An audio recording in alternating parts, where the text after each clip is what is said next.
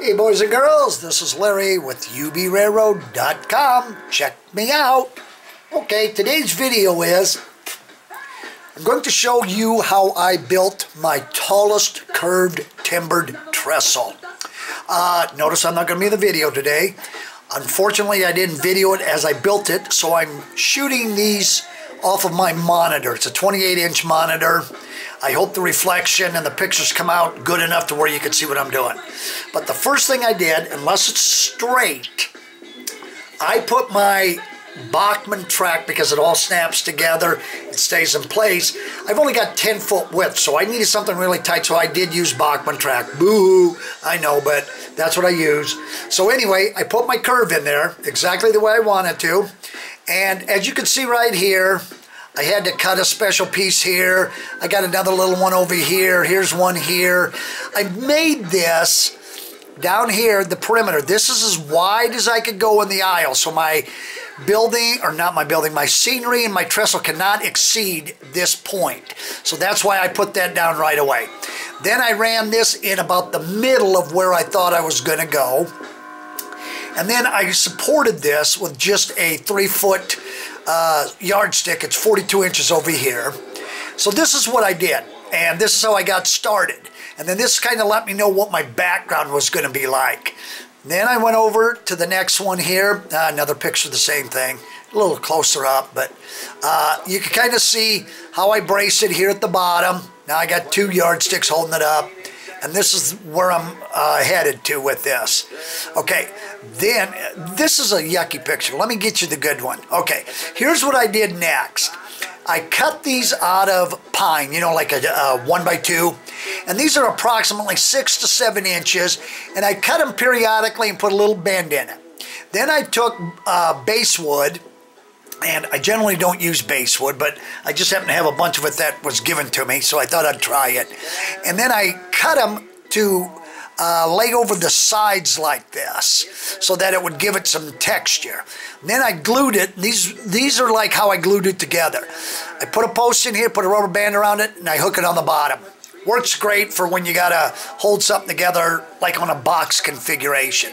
So this is the way I did it. I cut all of these six or seven and I made it fit and angled it so that it would fit underneath my track just perfect.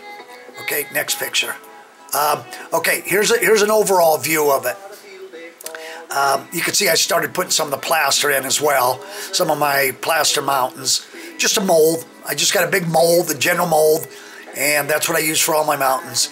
You kind of see another angle of it. This is the way it looks. Now this bridge is completely self-supporting on its own. It's tied in here and on the other end. And it does sit there. So my trestle really is just there for pressure. When the train runs over it, it just keeps it in place. But uh, it doesn't need to, to be uh, at the point where it holds any weight as long as it just keeps it in place. Like right here, you can see how these are all off the ground. Some of them are off the ground. Some I built two by four bases or what have you. Here's a piece of plywood that I put it on. And then I brought the, you can see my cardboard uh, mountain forms right here. They're going to follow right along, like, right along with it. But right here, like if I stepped right here, right now, this would fall a little bit. It catches here and right there. But you could see that very little bit of it actually holds weight because the whole thing was just self-supporting, okay? Colored this trestle to see how it would look. You know, I got excited. But here's the way I did it, is I built all my trestles in place. I rubber band them the same way so that I knew the angle and the degree that they would be in conjunction with the base so that I knew the base of the track would lay flat on this and look the way it's supposed to. So I used this same type of rubber band technique. After I built the trestle or a bent, I would stick it up in there and put a rubber band on it and then go from there. Okay, let's move on. Okay, here, here's a bent. Now, a bent is the simplest thing in the world to, bent, to build, okay? There was no real rules for timber trestles. That's why one in four timbered trestles ended up in a fatality because nobody knew how to build them. one guy would overbuild his to death and the other one would build it so that it caused death. It, it was all up to the, the manufacturer. But the way I built mine is I used five legs or stringers. Some people use four, three, seven, whatever you want. I see guys put doubles here, uh, doubles in here.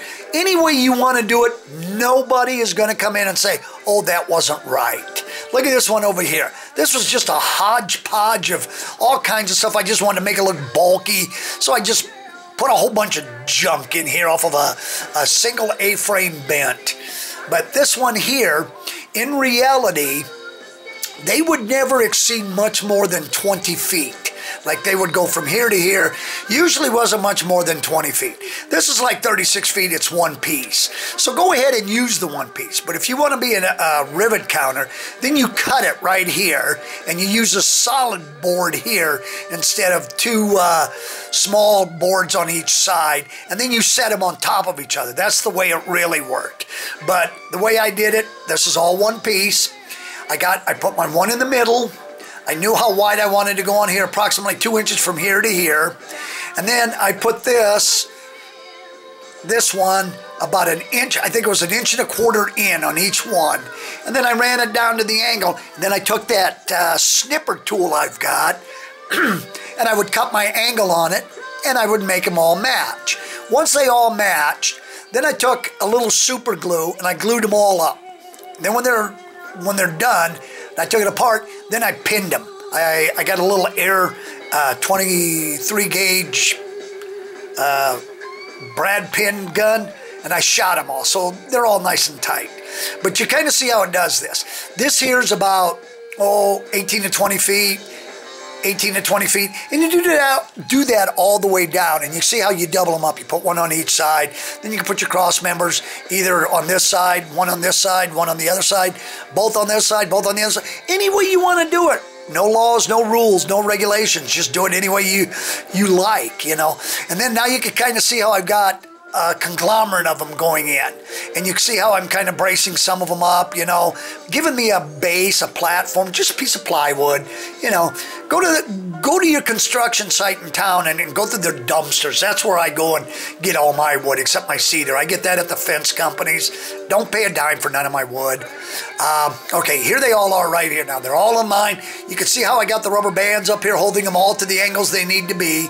Now that I know where they're going to be, uh, I will go ahead and start making my mountains to support all of this. Okay, this right here is going to be the little tunnel, as you'll see when we're all done. Okay, oh, this one out of whack. Uh, okay, now this is, you can kind of see on this one, it's going to come down like like this cardboard's kind of showing, and then I'll build up and, and make this. This one has no weight. And I don't think this one does. Well, yeah, this one does right here. But these right here, this one doesn't sit on, this one don't. These two, you see what I'm saying? So you don't really need to, to, to put a lot of uh, construction in these. They don't have to be any bigger than uh, like I made mine all, I think, a half inch by half inch. That would be uh, equivalent to like a 12 by 12. That's pretty prototypical, so you'd be safe with that, or any way you want to do it. Okay, so you can kind of see where this is going to. Okay, now I'm starting to stain it. Now I'm starting to put my X braces in. I'm starting to put my cross braces in. Uh, I still got some undone here. You can see where the tunnel's going to go here. You can see I start putting mountains in. I had to put these in before I got too far or else I wouldn't be able to get, get in there because you're going to see that. See how I put X braces here? I kind of overbuilt mine, but again, I didn't know what I was doing, so I just built it. You know, I put X braces on every one of them. But some guys will leave this one on or make X brace here, off, off, on, off, off. Any way you want to do it, no biggie. Okay, now you kind of see a little close-up. See how I put a stringers, double stringers in here? And you can even put little boards going this way to make it look like it's a catwalk for when they need to do repairs or up here. Any way you want to do it. You know, any anything you want to add to make it look, you know, like your own, do it, you know. Uh, next picture. Okay, see how I pinned them? Bing, bing, bing. bing. That little pin gun really works nice, and it gives the illusion of, of heads on them and everything else too. Now, I didn't pin everything. Sometimes I would just drill a little hole, and then I would put a uh, round-headed spike in. That's kind of what I'm thinking these are, because the pin gun usually buries them below the surface. But these were all done with a pin gun, and these were done with the little round-headed pins. And then that makes it look like a bolt, which makes it look pretty neat. Next picture. So you can see how, how I did all of this. You know, drill, drill, drill, drill, put your board in there. See how they don't come straight? Big deal. That gives a character. That's not a mistake. That's character. You see how I got him running the angle of the uh, plaster and all of that.